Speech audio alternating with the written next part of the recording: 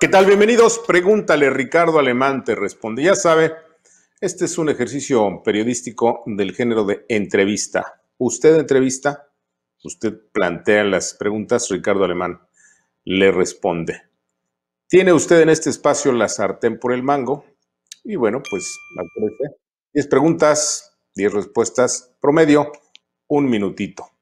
Pregúntale, Ricardo Alemán te responde. Vamos rápidamente con la primera, ya la está usted viendo ahí en su pantalla, Juan García. Juan García, ¿usted cree que sea conveniente que durante el sexenio de López salgan todas las trapacerías de su familia, como las raterías de Pío y los fraudes de la prima Felipa con Pemex? Pienso que le conviene que salga todo en su sexenio para evitar después rendir cuentas sobre casos ya concluidos.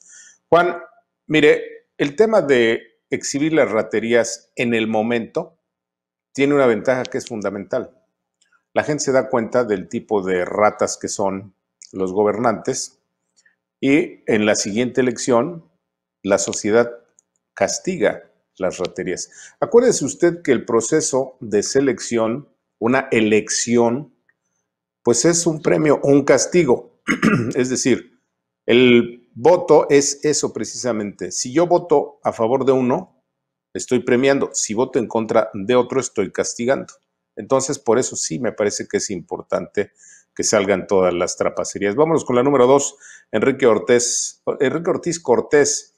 ¿Dónde termina la culpa de ya saben quién en el escandaloso desastre de la 4T y dónde comienza la patética responsabilidad de una sociedad civil inerte, pasiva y resignada a su suerte?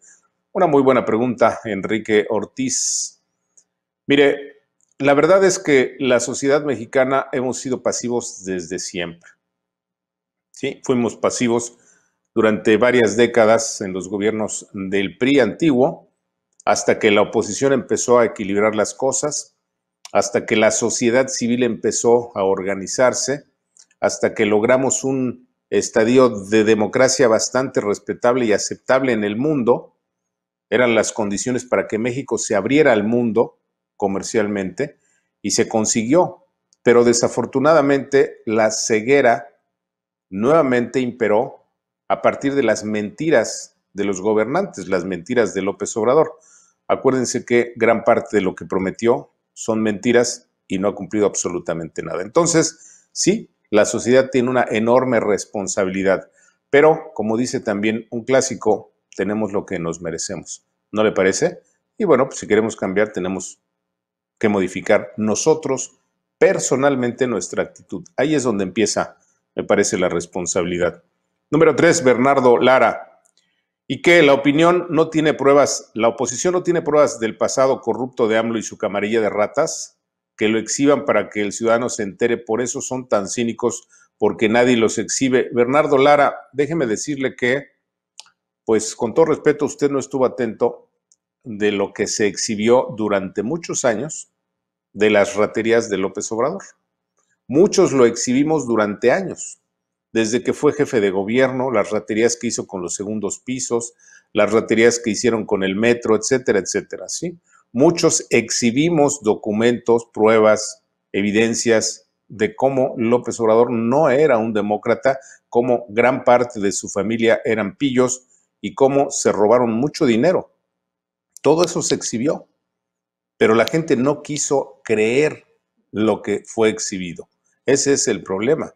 Se exhibió desde mucho antes. Vámonos con la que sigue, la número cuatro, Víctor Velázquez. Como dice, como dice el peje, respecto a la fortuna de toda su parentela y o el saqueo de la parentela, colaboradores y demás, la pregunta es quién pompó. Efectivamente, mire, hay eh, pues eh, pruebas, nosotros las hemos exhibido, no son muchos las que las exhiben, nosotros hemos exhibido de manera contundente como por ejemplo con lo que se ha robado, eh, pues, la parentela cercana a López Obrador, sus primas, sus hermanos y sus cuñadas, se pudieron haber comprado 10 casas blancas, ¿se acuerda del escándalo de la Casa Blanca? Bueno, lo hemos demostrado. Entonces, el tema es que ya sabemos que son una punta de rateros. El problema también es que, como no hay equilibrios en el poder, El poder legislativo está controlado y cooptado por López Obrador. El poder judicial está cooptado y controlado por López Obrador. Entonces necesitamos modificar esa relación de fuerzas. Y eso se puede hacer en la elección que viene. Vámonos con la número 5, Dionisio Illescas. ¿Qué sabe del robo que hizo el hermano de Monreal en Zacatecas por los 10 mil millones de pesos? Mire, la familia Monreal son una punta de rateros. Todos de la familia Monreal, a lo largo de toda su historia, han sido denunciados precisamente por malos manejos, por raterías, por robos, etc. Entonces, toda la familia eh, está implicada y bueno, pues hay evidencias y hay pruebas. Que no hayan actuado, esa es otra cosa. Los opositores han presentado pruebas, pero como, repito, tenemos un sistema judicial sometido y como tenemos un poder legislativo sometido, el principal sometido es precisamente el señor Monreal, es el principal solapador de las trapacerías de López Obrador, bueno, pues difícilmente se puede hacer algo precisamente otra vez la misma receta. Lo que podemos hacer es cambiar, modificar la correlación de fuerzas, es decir, que el Congreso tenga una mayoría de opositores para que puedan someter a todos estos pillos. Vámonos con la que sigue, la número 6, Jorge Beltrán. Ya la está usted viendo en su pantalla. Algunos canales de YouTube denunciaron fraudes en las encuestas de AMLO. Esperamos lo mismo en las elecciones del 2021 Sí, a mí me parece que quienes hemos eh, asumido el papel de críticos de este gobierno, pues debemos seguir eh, adelante con esta posición, aunque también déjeme decirle que eh, también es cierto que hay muchas presiones. Le voy a poner un ejemplo. Hace pocos días en el Senado de la República, pues varios senadores del PRI votaron a favor de la reforma al Banco de México, una reforma que es peligrosísima, que es un retroceso gravísimo. Bueno, pues votaron a favor porque los tienen sometidos y amenazados, porque tienen cola que les pisen, porque inventan eh, persecuciones en contra de la gente. A nosotros nos han hecho las persecuciones, somos víctimas de esas persecuciones y aún así seguimos aquí, pero hay muchos que no están dispuestos a seguir. Ese es el problema. Vámonos con la que sigue. Eh, Yolanda Martínez dice, ¿qué habrá de cierto que el tema de la vacuna es otra mentira de este grupo de mentirosos de la transformación de cuarta. Yolanda, habría que ver en qué parte de la vacuna es, piensa usted que hay una mentira. Hay un, una grave irresponsabilidad en el conjunto del manejo de la pandemia. Eso ya lo sabemos. Por eso hay más de ciento, casi 115 mil muertos ya eh, por la pandemia. Pero el tema de la vacuna es que también es cierto que no han comprado las vacunas suficientes. Le voy a poner un ejemplo para que vea la diferencia. En Estados Unidos, el nuevo presidente, Joe Biden, se comprometió a comprar 100 millones de vacunas en los, a aplicar, no a comprar, a aplicar 100 millones de vacunas en los primeros 100 días de su gobierno. ¿Sabe cuántas vamos a aplicar en México? En seis meses no vamos a aplicar ni 50 millones de vacunas. Esa es la diferencia, ese es el problema. Vámonos con otro tema, la número 8, Ramón Pérez. Si se le quita toda la representación a Morena en la Cámara en 21, ¿se le, puede hacer, ¿se le pueden hacer cargos a López por corrupción estando en funciones? Por supuesto que sí. Ese es precisamente el gran reto que tenemos los ciudadanos. Necesitamos modificar esa correlación de fuerzas, necesitamos que los opositores tengan la mayoría en la Cámara de Diputados para que puedan someter, equilibrar y contener las locuras de López. Ese es justamente lo que se busca. Vámonos con la que sigue, la número nueve.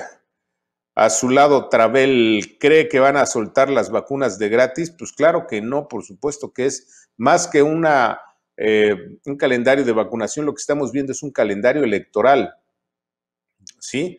Lo van a estar aplicando de acuerdo a, las, eh, a los intereses políticos y de acuerdo, por supuesto, al interés electoral. ¿Por qué cree usted que se negaron a que los hospitales privados pudieran comprar vacunas, aplicarlas a la gente que fuera a comprarlas? ¿Por qué cree que lo hacen? Precisamente porque es un tema en donde lo que quieren es el control político de la vacuna. Ese es parte del engaño. Vámonos con la número 10, Adrián Becerril. Estamos ya con el agua hasta el cuello y no entienden que hay que unirnos para quitarlos, pero somos individualistas. ¿Cómo solucionar nuestro problema? Bueno, pues hay que empezar volteando el dedito. ¿Sí? Hay que empezar por dejar cada uno de nosotros de ser individualistas, empezar a platicar con la gente cercana, nuestros compañeros de trabajo, nuestros vecinos, nuestros amigos, nuestros parientes, nuestros hermanos, etcétera, para tratar de hacer un trabajo conjunto de convencimiento para que en la próxima elección seamos capaces de revertir esta tragedia que estamos viviendo. ¿No les parece? Bueno, ahí están 10 preguntas, 10 respuestas. Pregúntale Ricardo Alemán, te responde. Ya sabe, este es un espacio en donde usted tiene la sartén por el mango. Usted pregunta y Ricardo Alemán le responde. Género periodístico de entrevista. Nos vemos la próxima semana. Adiós.